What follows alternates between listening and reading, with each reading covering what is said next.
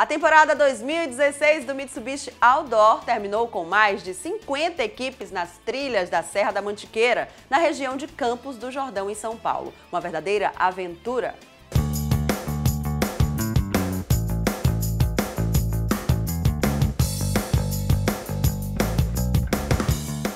A temporada 2016 da Mitsubishi Outdoor terminou com chave de ouro. Com mais de 50 equipes nas trilhas, o Rally de Estratégia e Tarefas foi realizado na região de Campos do Jordão, onde os participantes puderam aproveitar atividades esportivas e culturais. Alguns participantes compraram um Mitsubishi só para poder participar do Rally. E só pelas cidades que visitaram já fez a viagem valer a pena, afinal de contas, esta é uma experiência única.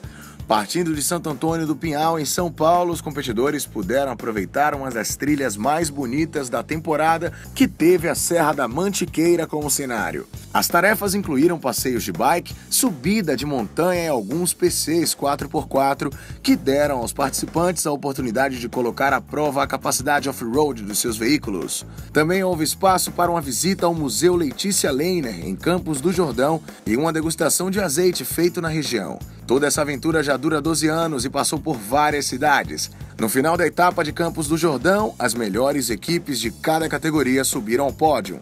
Na categoria fã, destinada aos iniciantes, a equipe Luna foi a vencedora. Eles participam há seis anos e só tinham alcançado uma vez o terceiro lugar e na última etapa ficaram em primeiro. Na categoria Extreme, para quem tem mais experiência, a equipe Absolute Lama, a bordo de duas L200 Triton, voltou para casa com a vitória. A equipe participou de todas as etapas e para eles serem consagrados na última prova do ano foi espetacular. A Mitsubishi Motors mais uma vez realizou a ação social Mitsubishi Pro Brasil. Nesta etapa foram arrecadadas mais de 8 toneladas de alimentos que foram destinadas ao Fundo Social de Campos do Jordão.